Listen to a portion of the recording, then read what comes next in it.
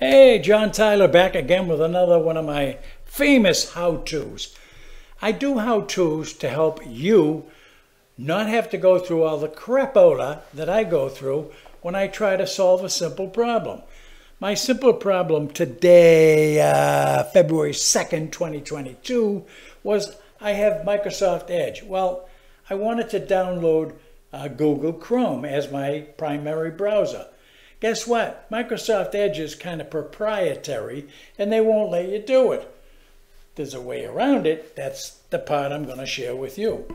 They just won't let you do it. Let me explain what I did. I went to Microsoft Edge, typed in Google Chrome download. Boom. And I'll show you the pictures as I progressed in just a moment. I blab a little bit, but I want to explain to you my frustrations because I know you've got the same thing or you wouldn't be here learning how to do this.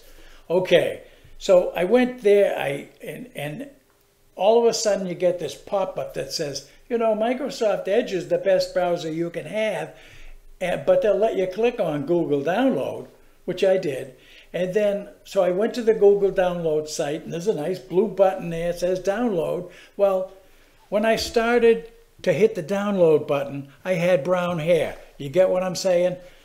So, so in other words, you can type download and hit download until you're 104 years old, and it ain't never gonna go there.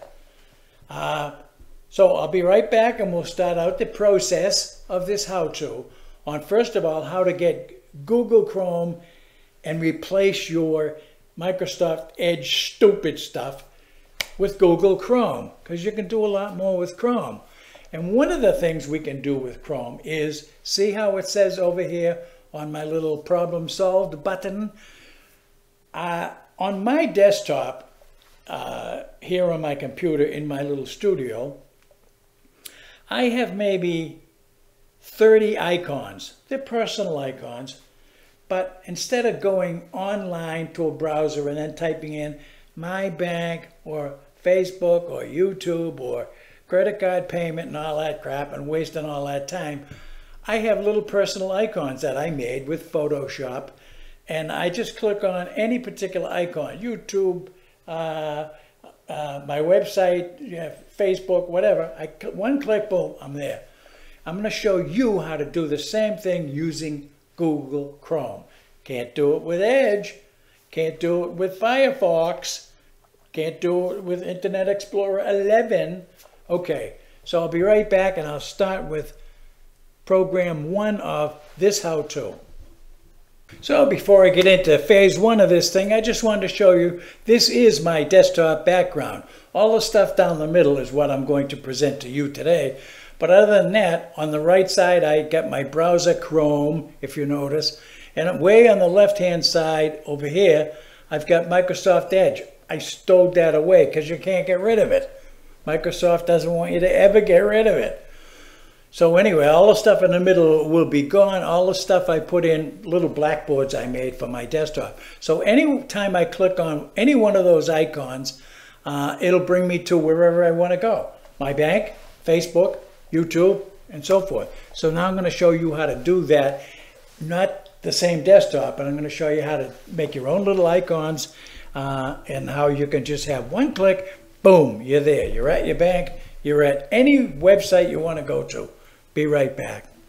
So in Microsoft Edge, you click on download Google Chrome, you'll come to this page.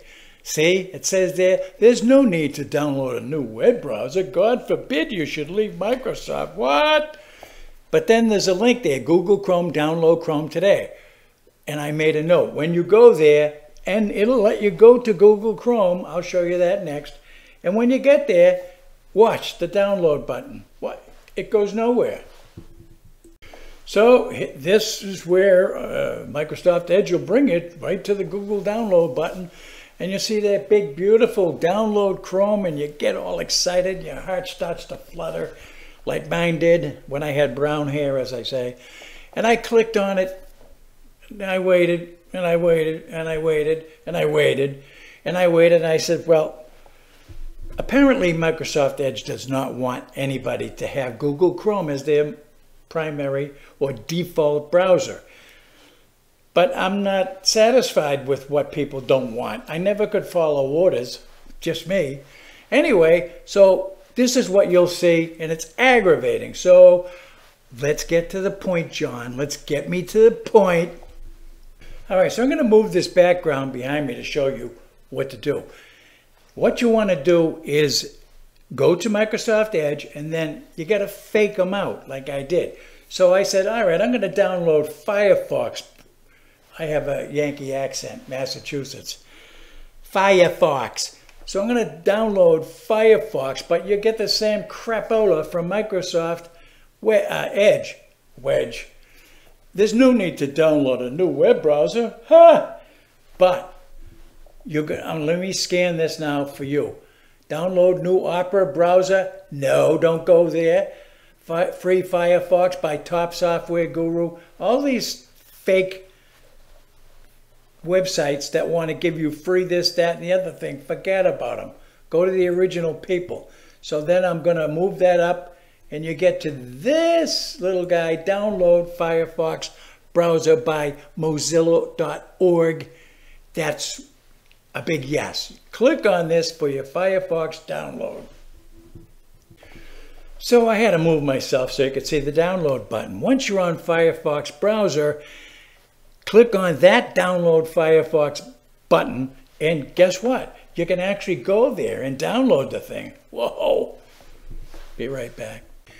So when you download, uh, download the Firefox browser, you're going to see up above my head here, it says downloads on the right hand side of your screen, and it'll say open file. Click on open file, and you'll be surprised the tricks that Microsoft edge wedge uh, gives you so that you can't get this done.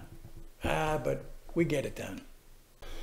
Okay, over here, when you finally get the Firefox and you open your file and your computer says, allow this in the computer, yes, you're going to get this screen.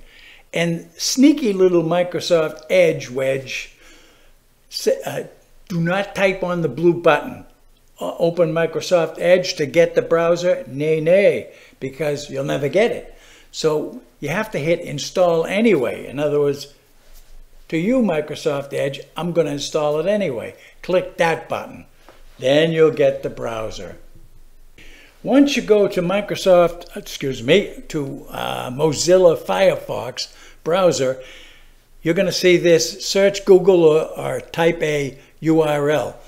So you type in Google Chrome download in that blank spot on Firefox, and uh, you'll then, and it'll download it, no problem. And then you'll have to hunt for Google Chrome download in your computer. And I'll show you how to do that.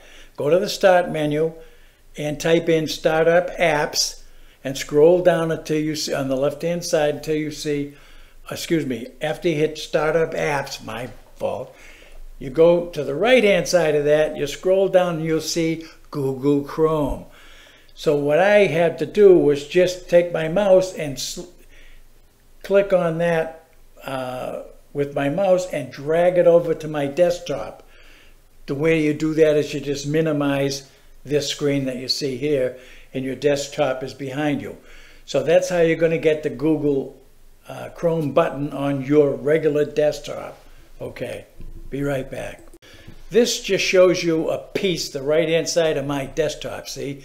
Music 2, John Photos, uh, Dothan, Alabama, that's Realtor.com, um, all that kind of stuff. Stuff that I want to go to. Um, to the right hand side now, at the very top, you will see Google Chrome. I put it way over there, and you already saw the picture of my full desktop where I put Microsoft Edge way over to the left so that it's I never confuse it again. Uh, that thing that says light, CuteFTP Lite, that's pretty cool. When I go there, I can transfer anything I want to up to my regular website at johntyler.com. And I have all kinds of stuff that I can and have done up there. uh, I can go to Photoshop. I can click on uh, Word and type in a Word document. So I like to have all my icons in one spot. You can do the same thing on your regular desktop, but now I'm going to show you how to go get one click, does it all. I call them quick links. You'll make them yourself. Here's how. And so one, log into Google Chrome and you'll see, you might see a bunch of little icons there like to Wayfair or whatever. In my case, when I first started Google Chrome, I had uh, only, it says new page one, that's my actual website.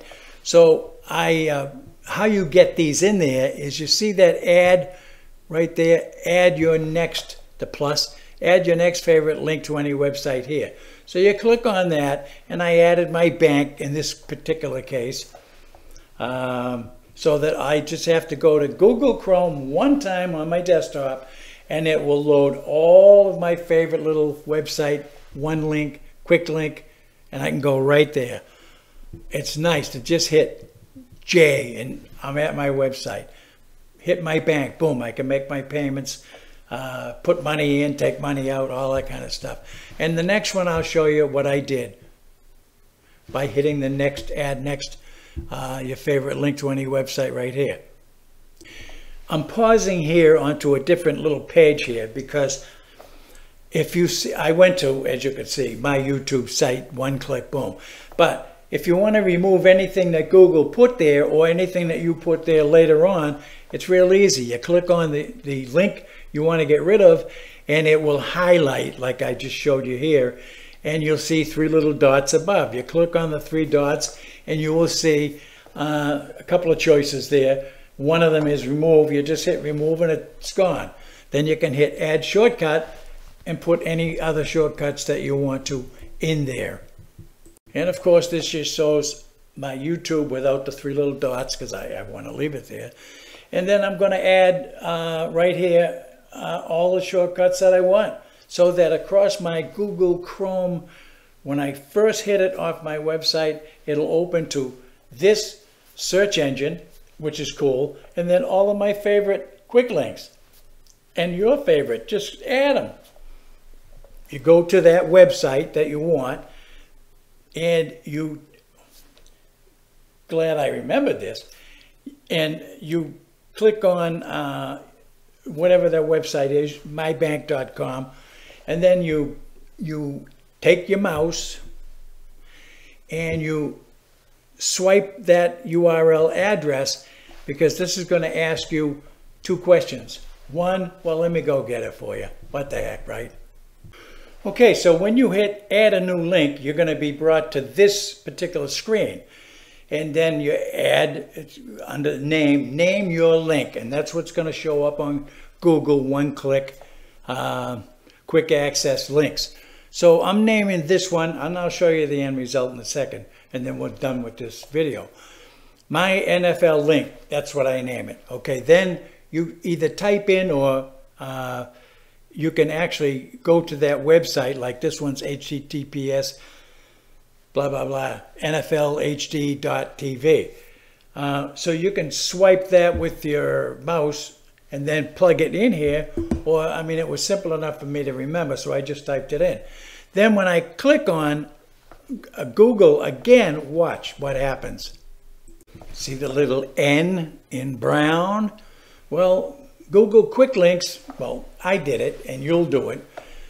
But as soon as you hit Google, which I just did, there's it says my football link. All I got to do now is click on that instead of typing in uh, some browser uh, something where I want to get to and you know waste some more of my life. So I love the one-click deal. And uh, again, on my website, uh, I have all the, the links, but it's too complicated, believe me, to try to teach people how to do that. And then you got to add a Photoshop pro, uh, program and you got to add another program.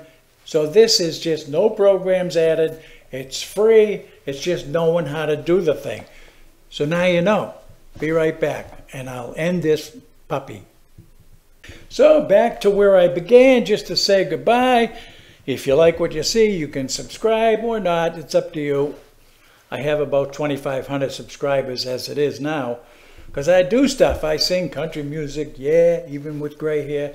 And I must be okay doing it because 2,500 people uh, go to my website. But they like the how-tos. I did a how-to on adding uh, septic tank risers, believe it or not, at my age, and I just did it a couple of years ago. And the inspector came out to inspect my work, uh, and he said, This is the cleanest, best, nicest, easy access septic system I've seen. So, anyway, a lot of people, uh, 10,000 people, I guess, downloaded that one. There's another one on how to transfer stuff. I'll put it on the end of this link here, in fact. How to transfer stuff from Windows 7 or from computer A to computer B that has Windows 10. It's easy peasy stuff to do, but trying to do it the first time is a croaker. Anyway, thanks a lot for attending. I'll see you next time.